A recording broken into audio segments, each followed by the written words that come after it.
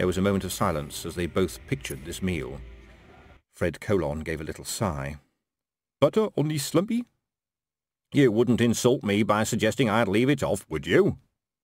A man could linger a long time over a meal like that, said Fred.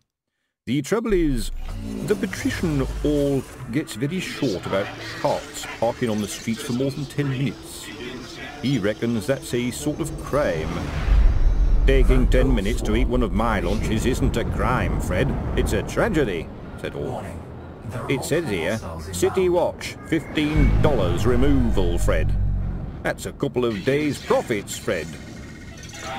Thing is, said Fred Colon, it'll be paperwork, see? I can't just wave that away. I only wish I could. There's all them counterfoils on the spike in my office. If it was me running the watch, of course.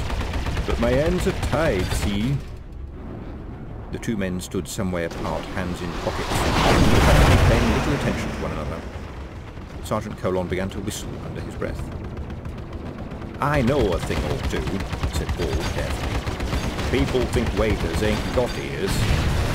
They know lots of stuff, said Colon, jingling his pocket's change.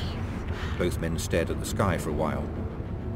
I may have some honey ice cream left over from yesterday.